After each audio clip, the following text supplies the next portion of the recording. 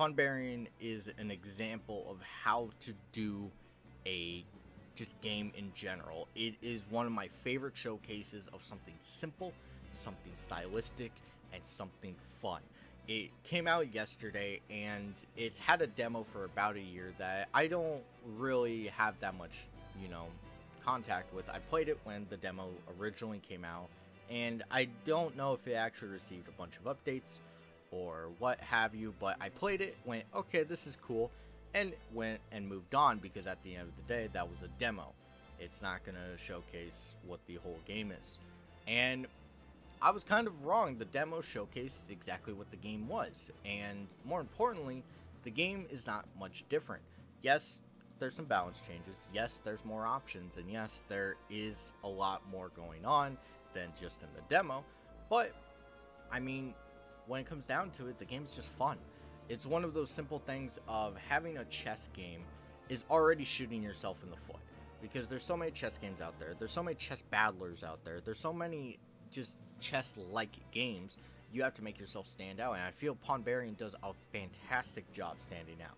Not only is it roguelike and yes, card battler and puzzle and stuff like that, but it's so easy to pick up. Someone like me who is bad at chess is able to pick this up and enjoy it and not just, you know, play the game and go, okay, this is cool, but actually enjoy the whole entire experience. Yes, I lost. At the end of the day, I had fun losing. That is an impressive thing to do, especially in a chess like game where you know where you messed up eventually and you gave and you just start giving up. And here I had fun eventually realizing my mistakes. What I could have done better. Should I have gone the more defensive strat? Should I have gone the, gone the more aggressive strat? There's so much that's in this game, and yet it's so simple. It's so casual. It's one of those things of, yeah, obviously chess is complicated.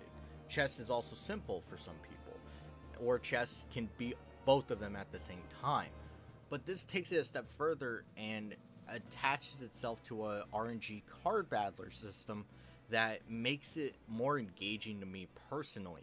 If you're always that person that's like chess is alright and you understand why people play it, but you're not a big player yourself, you'll love Pawnbarian because at the end of the day, it's chess, the same rules, the same pieces that you've always come to know, except there's a little twist. There's a little RPG mechanic. There's these people that you're attacking, these goblins, these orcs, whatever, they move differently than normal pieces.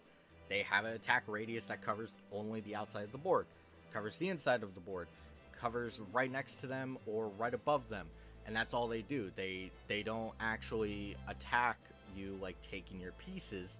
They just do damage to you, and that's where I think Pawnbarian does really well. It would have been a very bad experience if you just lost a piece and you just moved on with the with the way you were and you moved on to the floor and you had to buy your pieces back. Except it gives you health which is weird in a chess game. You think about it you're just like what? And when it comes down to it it allows you to experiment. Do you go into the spot that will make you take almost all of your health but it'll allow you to play aggressive if you get your cards right it'll allow you to take the game if you happen to get that queen draw or uh, I don't know, even a rook draw, whatever have you. You have the chance to play whatever way you want, which is very rare. It's very rare to see a video game, especially a roguelike, where it allows you to play in so many different styles. And yes, that is partly due to chess being the backbone of the game, but I feel that a lot can be said that this is just really good. I think Pawnbarian is simplistic, it's stylistic, but more importantly, it's very fun.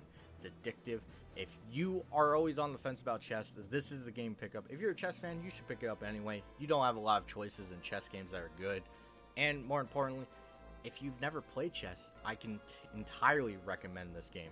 This is one of those games that people will pass over because it's too simplistic or it doesn't look that engaging.